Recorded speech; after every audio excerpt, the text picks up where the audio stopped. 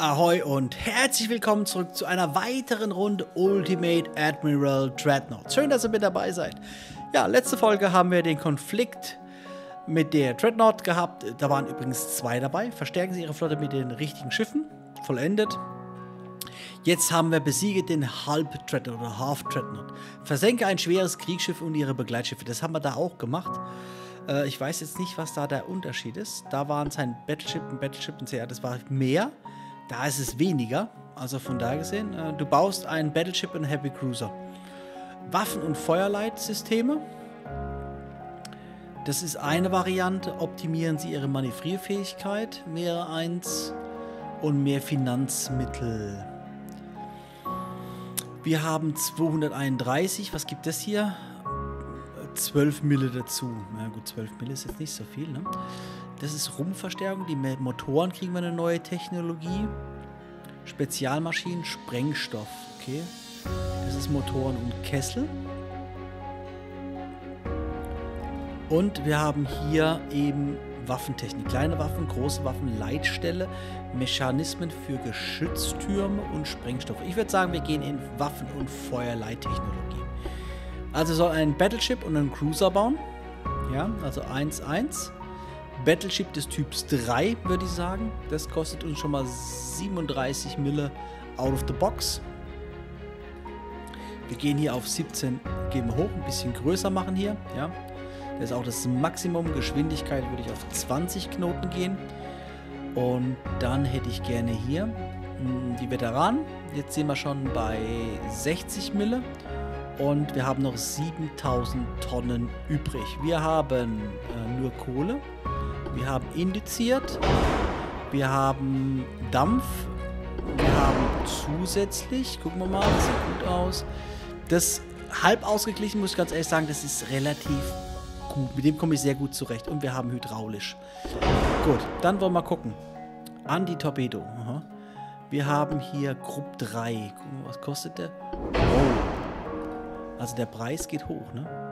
Also das Ding, wir gucken, was uns der Cruiser kostet, weil wir haben maximal 231.000 Dacken. Ähm. Lecco mio. Also das ist jetzt erstmal, ich, ich konfiguriere mir ein Antiflut.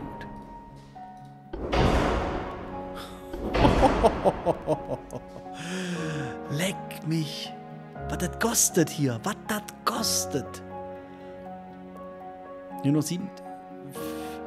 Also rein theoretisch haben wir nicht mehr so viel übrig, ne? So, dann lass uns gucken. Ein Hauptturm. Dann haben wir den hier. Dann haben wir einen Nebenturm.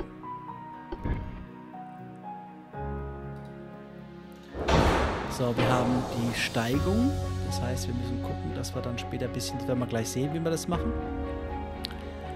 So, also Schornsteine brauche ich. Big Funnel. Also ich kriege hier nur einen hingesetzt, egal wie ich es drehen wende. Das heißt da. Da. Gut, drei Stück. Jetzt muss ich mir überlegen, ob ich das will. Leck mich am Bobbes. So, lass uns mal kurz gucken. Das ist das hier. Mhm. Gut. Dann haben Babetten haben wir nicht. Seitengeschütze. So, jetzt müssen wir jetzt gucken. gucken. Kasematten. Die kannst du hier setzen. Da kriege ich sonst keine rein. Ne? So, 6 Zoll. Guck ich mal die 2 Zoll. Die kriegst du da überall hin, okay.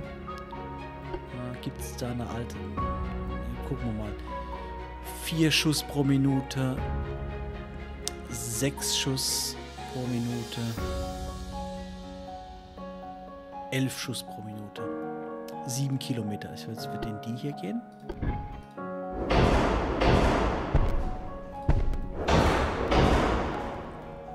Ja, so das wäre das hier. Torpedo, Unterwassertorpedos nehmen wir mit. Das, ist, das, ist gar, das Rollen ist gut, aber die Steigung ist schlecht. So, wir haben Hauptgeschütze. Sekundärgeschütze nützen uns gar nichts. Zentralkanone, gucken wir mal. 14, wo kommt die eigentlich hin? Die kommt hier vorne drauf. Okay, die ist viel zu groß. da passt, das ist viel zu groß. So, pass auf. Ähm, ich würde sagen, wir gehen jetzt auf ähm, 11 Zoll. 1,6, 1,4 Reichweite, 18 Kilometer, 16 Kilometer, 15 Kilometer, 13 Kilometer. Feuerrate 2,3 Schuss. Wir nehmen die hier, dann nehmen wir doppelläufige. Ein bisschen weiter nach hinten. So, würde ich sagen.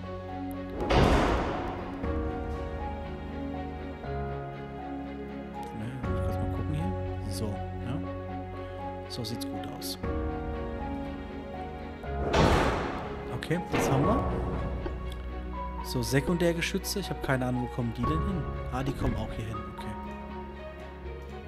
Okay. Mhm. Sonst kann ich nichts mehr setzen, ja? Das wäre es jetzt. Mal, also Babette, die kann ich jetzt noch ein bisschen ausbauen. Das ist gut. Torpedogröße haben wir 18 Zoll. Vielleicht gehe ich jetzt nicht ganz so hoch mit dem Preis. Mal, ich weiß nämlich nicht, was uns das andere Schiff kostet. Hm, schnelle Torpedos. Minus 35% Torpedoreichweite. Ne, bleibt so, wie es ist. Äh, das bleibt auch so, wie es ist. Da haben wir hier erhöht. Das ist, wie gesagt, ich weiß immer noch nicht, was der Nahkampf ist beim, beim Ding. Türme. Das wäre natürlich hier cool, ja. Fortgeschrittene Gesch Hauptgeschütze, Geschütze, Kasematten, Gewicht. Gewicht ist nicht mein Problem. Hydrotürme. Rumpfgewicht, Motorgewicht, das ist aber, wir sind immer noch im, im, im Rahmen, ja. Drehgeschwindigkeit ist sehr gut. Dann haben wir hier Treibmittel, das ist das hier. Dann haben wir Pektinsäure 3. Das sind schon fast zu teuer, ja. Maximale HE, ich möchte gerne das ist halt die Frage, soll er mehr explodieren oder soll er penetrieren? Wir wissen, wir haben mit, mit dem Schlachtenkreuzer zu tun, das heißt, ähm,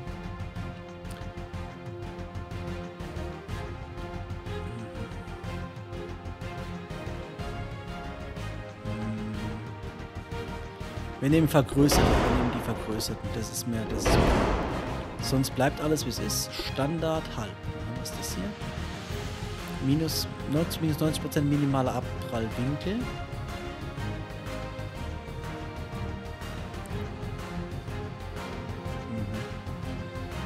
Ne, wir bleiben auf halb. Das sieht gut aus. Jupp, das wäre es jetzt. Was ist das hier? Zentrale Entfernungsmesser. Wir, wir, probieren es mal. Wir probieren das mal. So, jetzt willst du eins gucken. Wir senken den Tief. Mal, wir senken nach. Nee, guck mal hier. Oh. Das ist okay. Guck mal. Das ist okay. Das ist sehr gut. Tiefgang haben wir gesenkt. Wir können ein bisschen in die Breite gehen.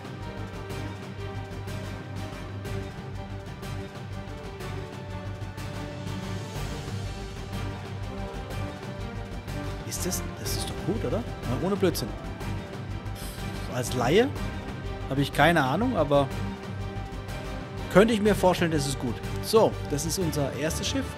Unser zweites Design ist der Armor Cruiser und wir haben noch 100.000 Tacken. Das heißt, ich gehe jetzt hier mal wieder Wasserverdrängung, gehen wir mal hier groß auf 15, 16, geht hier 16? Ne, 15, okay, 15, das ist das hier. So, wir haben hier die Kadetten. So, diesen Veteran. Dann haben wir das haben wir.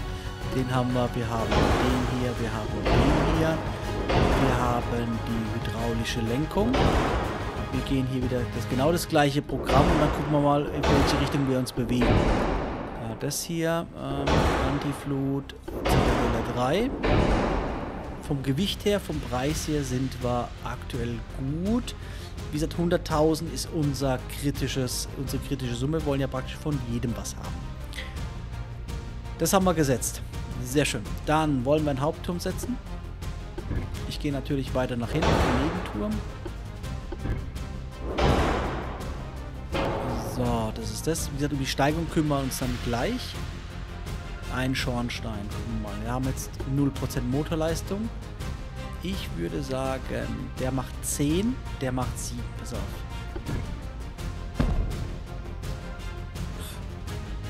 Achso, Geschwindigkeit. Äh, 21, geht 21, gucken wir mal. Hm, nochmal 22. Ja, 22 ist gut und dann kriegst du nochmal einen. Den setzen wir dahin. 103. Die Frage ist jetzt 20. Ja, das ist jetzt auch 20, ne? 12. So, dann machen wir den mal weg. Wir nehmen den hier. So, 124 Motorleistung. 124% Motorleistung. Ja, weiß ich nicht, ob das gut ist. Werden wir sehen. So, Babette haben wir, wie gesagt, nichts. Wir haben Hauptgeschütz. Ich guck mal erstmal Torpedo. Das sind die hier. Dann haben wir die, die, die und hinten. Sehr schön, die Kasematten. Gucken wir mal, kriegen wir die Fünfer überall hin. Das sieht gut aus.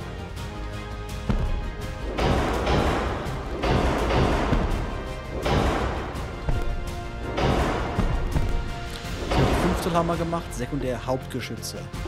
So, Seitengeschütze kann ich hier nicht anbringen. Seitengeschütze kann ich hier nicht anbringen, auch wenn ich sie klein mache hier.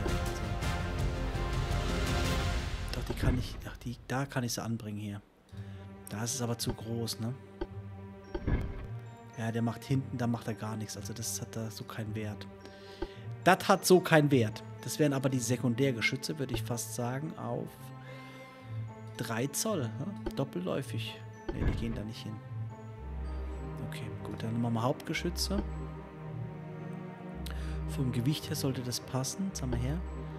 Äh, Feuerrate, was hat man denn? 9 Zoll hatten wir, glaube ich, ne? Auf der anderen Seite. Waren das hier die 9 Zoll? Lass mich kurz mal gucken. Das müssten die... Zum her. Hauptgeschütze.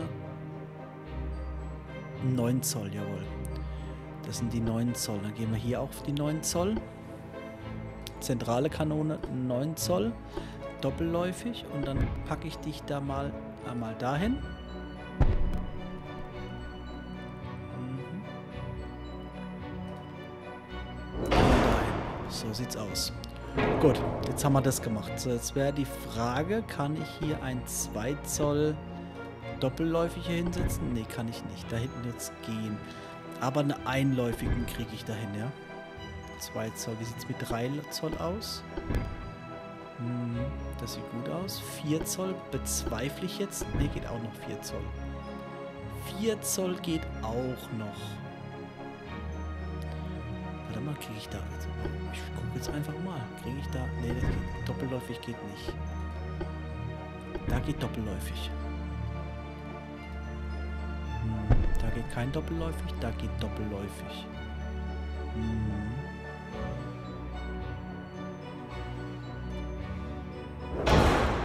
Ich glaube, wir haben es.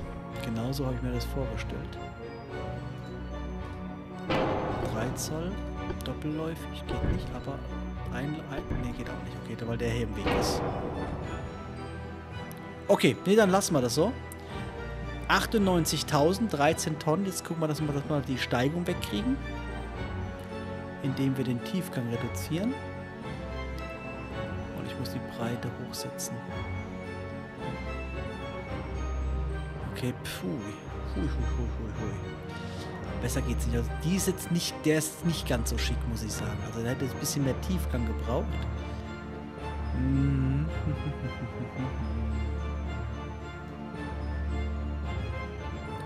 Ja, aber ich würde sagen, das sieht relativ gut aus. Ja? Im Vergleich, der ist, der ist natürlich top hier, der ist wirklich top, finde ich. Also meines Erachtens ich könnte jetzt noch ein, warte mal, ich kann jetzt noch einen Schornstein oben draufsetzen, weil wir haben noch Gewicht und wir haben noch Geld.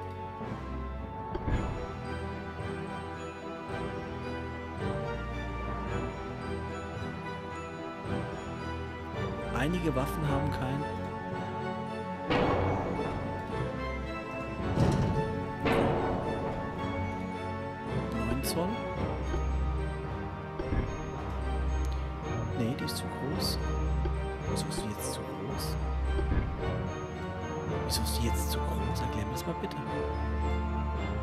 Was habe ich da, da nichts hingesetzt? Da funktioniert es jetzt, mal, 9 Zoll. so geht nicht. Krasses Pferd. 8 Zoll.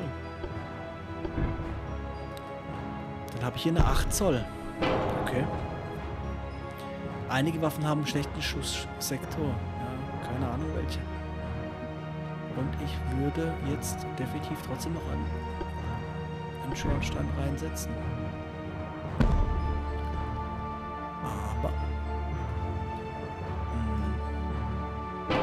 Wir lassen so. Ich würde sagen, wir lassen so. Dann einmal zum Start.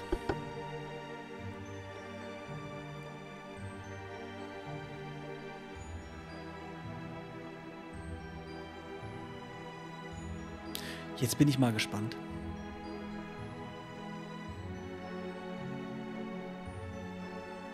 Bin ich mal wirklich gespannt.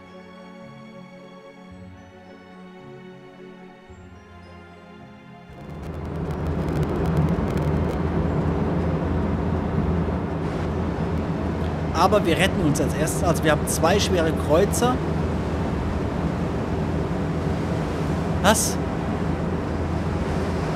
Was soll das jetzt? Wo ist mein Schlachtschiff?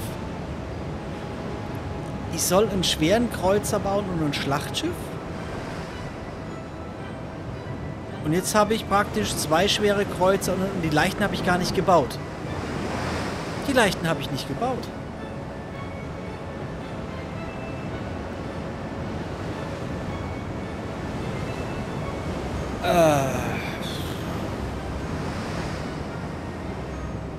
Hm.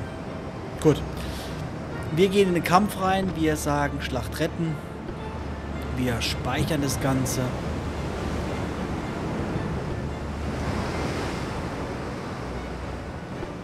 So, jetzt haben wir praktisch... Jetzt lassen wir mal einschießen, das Ganze.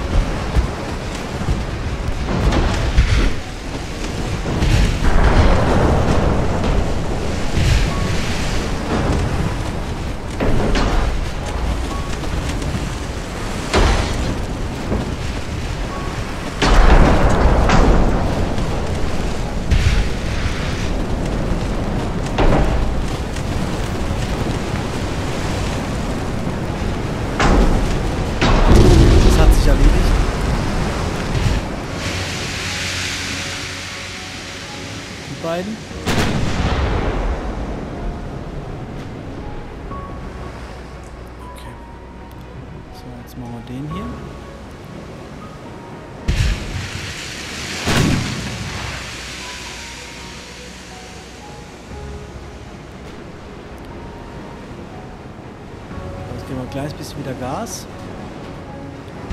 Hier ein bisschen beschleunigen. Wir nebeln ein. Ui.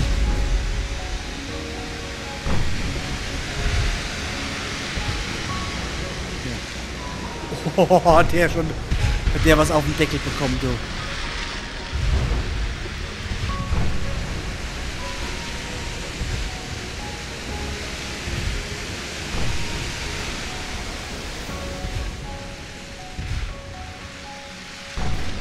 Dass wir ein kleines bisschen näher rankommen. So, dann geben wir hier ein bisschen Gas.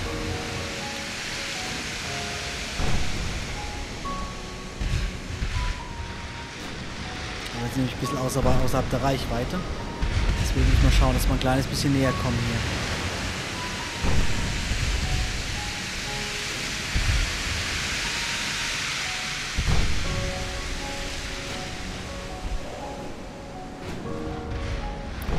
Ziemlich weit weg hier, die anderen. Sind ein bisschen langsam, ja.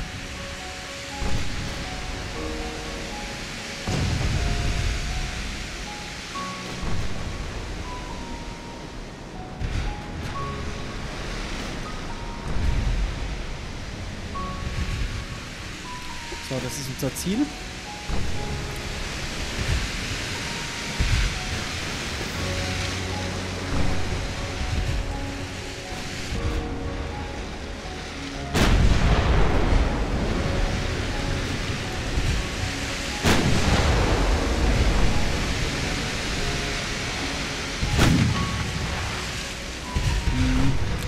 Bisschen was abbekommen.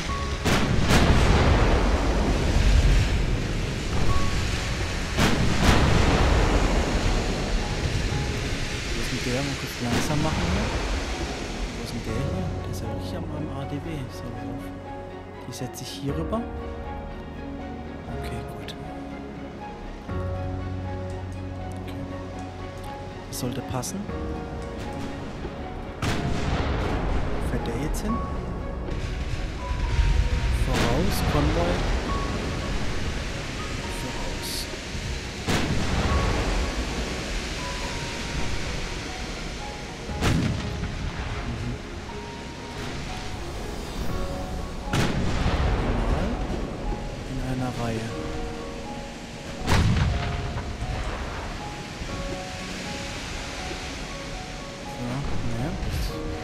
Fahren irgendwie, keine Ahnung, wo die sich hindrehen gerade.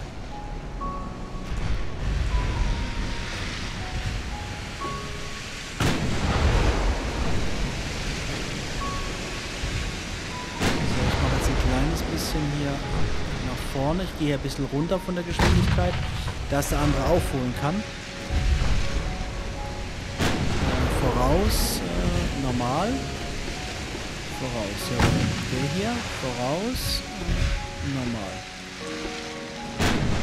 Was hat der hier? Der hat, glaube ich, gar keine Treffer, ne? Wo sind denn die anderen? Bitte, wo fahren die denn hin? Muss man nicht verstehen, oder?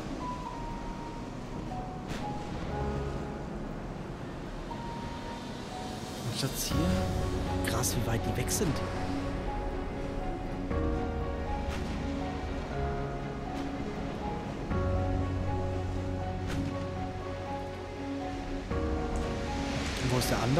Der kommt. Okay. Sehr schön, der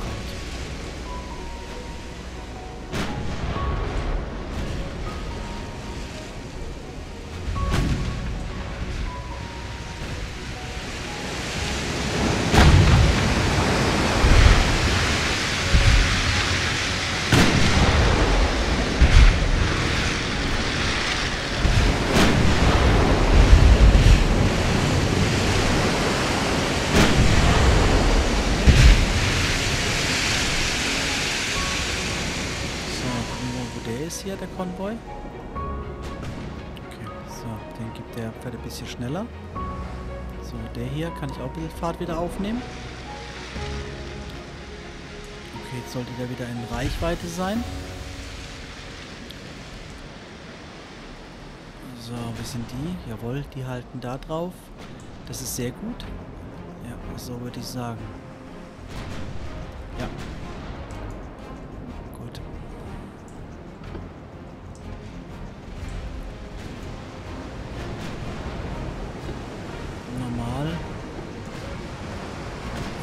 muss ja wohl.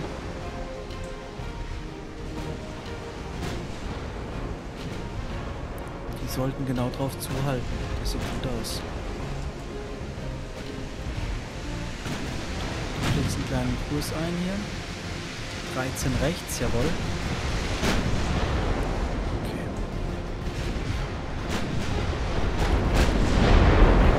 Die hat noch gar keine Treffer bekommen. Wir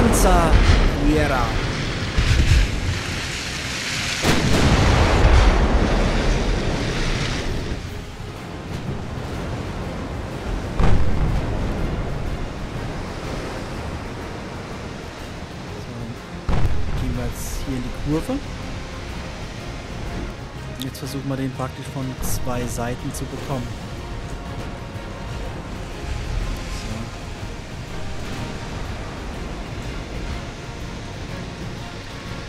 Vielleicht verwickeln wir den einfach jetzt mal in den Kurzstreckengefecht.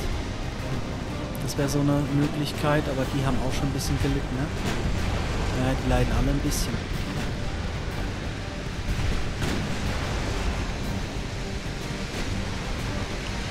möchte gerne, dass ich da ein bisschen mehr habe von denen.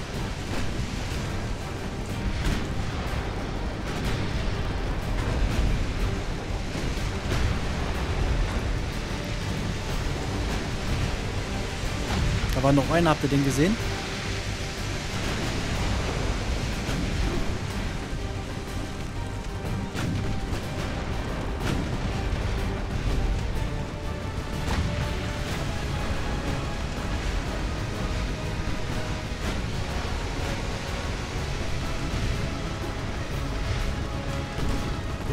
langsamer hier.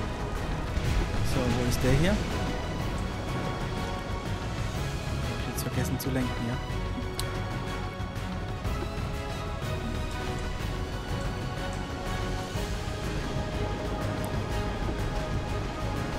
Okay, jetzt schieße ich wieder auf den da rein. Ich weiß nicht, was das ist hier. Mal gucken.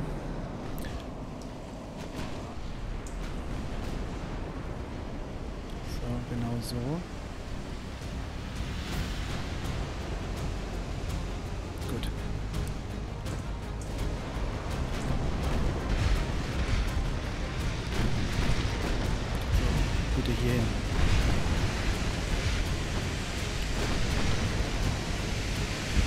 Verlangsamen die Fahrt. Der hat sich eingenebelt. Dann gehen wir hier einfach mal rum. Uff, der hat... Meine Freunde, ich gucke auf die Uhr. Wir sind schon wieder am Ende einer weiteren Folge. Wenn es euch gefallen hat, wie immer, lasst mir ein Like, lasst mir ein Abo da. Gerne auch einen Kommentar was ihr von meinen Künsten haltet. Ich weiß, der beste Seefahrer bin ich nicht, aber ich versuche stets mein Bestes. Wie gesagt, wenn es euch gefallen hat, wie immer gerne ein Like, gerne ein Abo. Danke, dass ihr meine Gäste wart. Bis zur nächsten Folge. Tschüss.